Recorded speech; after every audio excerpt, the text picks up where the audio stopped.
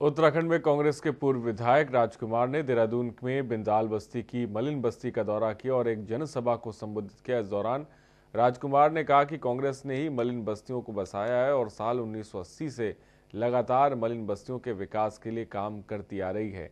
लेकिन आज कई पार्टियाँ मलिन बस्ती के लोगों को बहला फुसलाकर अपने पक्ष में करना चाहती हैं। मैं जाने कृष्णा कहते थे सभी मेहमानों का पत्रकार बंधुओं का।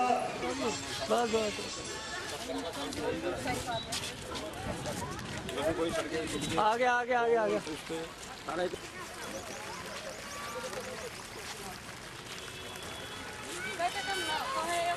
पीछे हमें भागना होगा। उसके पीछे हमें रहना होगा। सही आपका ले लिया मैं जाने कृष्णा कहते थे सभी मेहमानों का पत्रकार बंधुओं का। बस बस।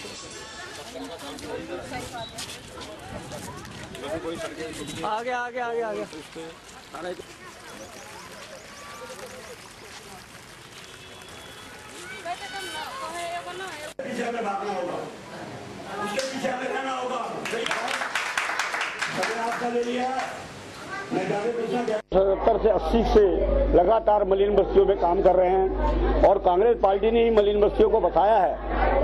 आज बहुत सारी पार्टियाँ मलिन बस्तियों को बहका फुसला के अपने पक्ष में करना चाहती हैं, लेकिन मलिन बस्तीवासी समझते हैं, कांग्रेस सरकार ने इन्हें पानी दी, बिजली दिया, पुस्ते दिए, आंगनबाड़ी दी, सामुदायिक भवन दिए, और पोल लगे, इनकी पेंशन लगी, और सभी बस्तियों की नियमित, नियमितीकरण करने के लिए सारी कार्रवाई करी। तो आज उसी संदर्भ में हमने यहाँ बिंदाल बस्ती से शुभारंभ किया है, और जितनी भी एक सौ तेईस मलिन बस्तियाँ हैं, हम लगातार हर बस्ती में जाएँगे।